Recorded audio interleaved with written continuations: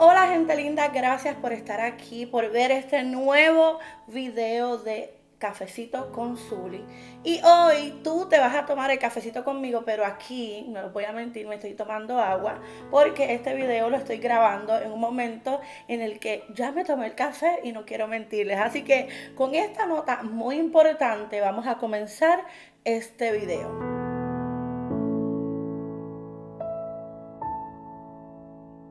El tema de hoy es un tema muy controversial, pero lejos de hablar de lo controversial, quiero que hablemos sobre la parte bíblica, porque saben que este espacio es únicamente para hablar lo que es bíblico. Es importante que entiendan que nosotros nos dejamos llevar por la palabra. Es por esto que en cada tema que podamos hablar tenemos que recurrir a ella. Así que no se vale de interpretaciones humanas, sino de la interpretación única y exclusivamente que tiene la palabra. Así que el tema de hoy va a ser, ¿es suficiente ser bueno? ¿Es suficiente, es suficiente en mi vida yo ser una buena persona, ayudar al prójimo? ¿Es suficiente? Vamos a analizar eso el día de hoy y me encantaría que dejaras tu comentario aquí abajito para saber cuál es tu opinión.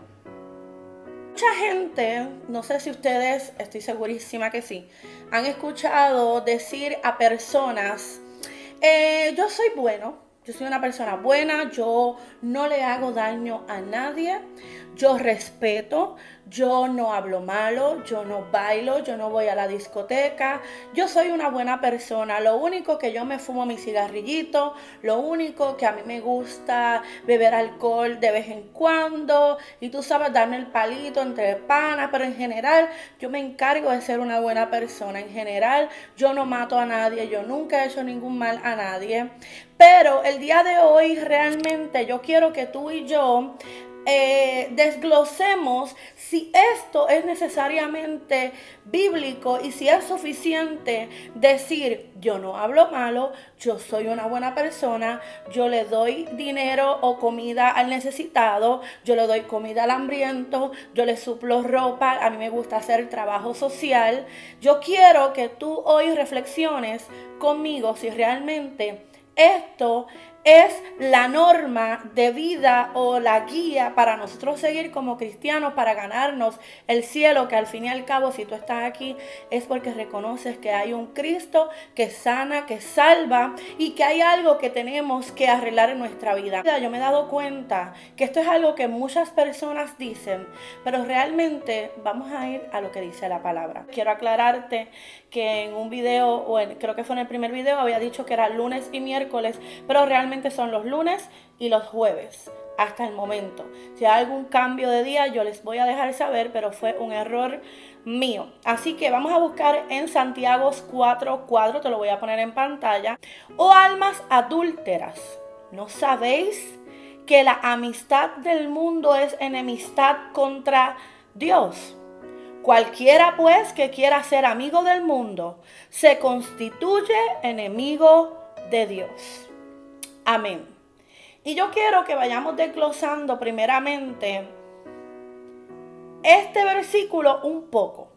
¿No sabéis que la amistad del mundo es enemistad contra Dios? Y es bien importante que tú sepas, que tú reconozcas que lo que no te acerca a Dios no va acorde a su palabra. Que lo que tú sabes que tienes que dejar te está cada vez alejando del Señor. Que lo que tú no decides cambiar, porque hay una parte que Dios hace, pero hay otra que tú como ser humano que tienes eh, decisiones propias tienes que tomar. Entonces, primero quiero invitarte a que analicemos qué es amistad con el mundo. Todo lo que no le agrada al Señor. Todo lo que no vaya acorde a tener una, una vida limpia pura y en santidad.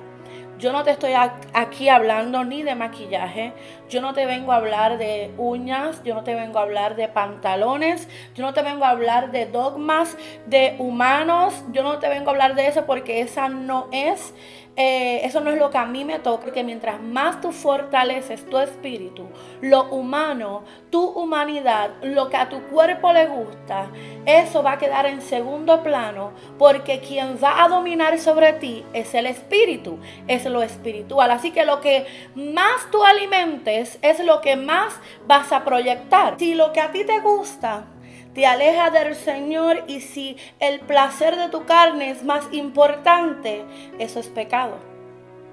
Porque en tu lista de cosas importantes tiene que estar siempre Dios. Tener una vida agradable al Señor. Entonces es ahí donde muchas personas, donde muchas personas tienen esto por error. Moralidad versus espiritualidad. Lo moral viene de un conjunto de costumbres y normas que se consideran buenas o malas para juzgar el comportamiento de las personas en una comunidad. Por ejemplo, hay cinco amistades tuyas y las cinco son personas obviamente totalmente diferentes, con diferentes... Eh, eh, crianza, con diferentes costumbres, con diferentes eh, estilos de vida, con diferentes, diferentes tipos de alimentación y todo lo que es esa persona hace que moralmente o sea buena o sea mala. Moralmente tú puedes ser una persona buena, pero espiritualmente lo eres.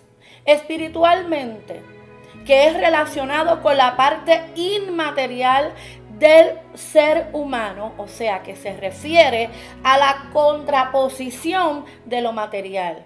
Lo moral es lo que te enseñan, lo que tú aprendes con la vida, lo que tú decides ser. Y lo espiritual no tiene nada que ver con lo moral. Entonces, para hablar un poquito de todo esto y me puedas entender, tú puedes ser una buena persona moralmente hablando pero si moralmente hablando te falta el complemento más importante en tu vida, que es lo espiritual, que es Dios, hay una pieza que se está quebrando, que necesitas arreglar. Que cuando tú decides acercarte al Señor, empiezas a decirle al pecado, quiero que seas parte de mi vida. No quiero que estés aquí. Todos los días, todos los días, cada minuto, cada segundo, estamos en un constante aprendizaje. Aún yo que te estoy impartiendo esta palabra, estoy en una constante renovación de cuerpo, alma y espíritu. Tengo que mejorar de cosas que tengo que cambiar, pero ya estoy en el camino. Y mientras estemos en el camino, tú le estás dando la oportunidad al Señor a que trabaje en ti. Y hoy quiero recordarte, moralidad versus espiritualidad no es lo mismo, pero cuando se complementan, hasta el que moralmente no es bueno, Dios lo cambia. El día de hoy quería acercarte al Señor diciéndote, a Dios no lo podemos engañar. Usted puede decir que usted ama a Dios, pero si usted no se acerca a Dios, si usted no trata de mejorar, usted tiene algo que hacer. Usted tiene que tomar una decisión. Usted tiene que, reconocer que estamos siendo almas adúlteras cuando decimos amamos a Dios, cuando decimos reconozco el sacrificio que hizo en la cruz, pero no le sirvo, pero no oro, pero no leo su palabra, o almas adúlteras. Estamos mintiendo. Y no significa que usted va a ser perfecto. Pero para alcanzar el cielo, para llegar al cielo, lamentablemente tengo que decirte que hoy no puedes andar pecando o haciendo lo incorrecto, bíblicamente hablando, y luego decir, soy hijo de Dios. Porque hijos de Dios son aquellos que le obedecen, que han regresado a casa, que han reconocido que no pueden vivir sin Dios y que les ha entregado su vida para que Dios haga un cambio completo en él. Así que cualquiera pues que quiera ser amigo del mundo, se constituye enemigo de Dios. Hoy es un buen día para que comiences a acercarte a Dios. Hoy es un buen día para que comiences a reconocer que si realmente tú dices que eres amigo de Dios, comiences a conocerlo. El trato del Espíritu Santo es diferente con todo el mundo. Pero lo que te quiero decir con esto es que esa respuesta que estás esperando del Señor no puede llegar cuando tú no estás buscando acercarte al Señor y el Espíritu Santo que está ahí día a día diciéndote en tu oído, en tu corazón, fulano, tienes que mejorar tu carácter. Fulano, tienes que mejorar esta área de tu vida. Fulano, hasta que tú no organices esto, yo no me puedo meter porque no puedo apoyar algo que no está en mí, que no es correcto. Su palabra es nuestra guía, así que te invito hoy a comenzar a leerla, acercarte al Señor. Probablemente a modo de cliché, como decimos por ahí, mencionamos yo amo a Dios. Dios es mi amigo. Pero realmente, ¿es tu amigo? ¿Realmente es suficiente ser una persona buena?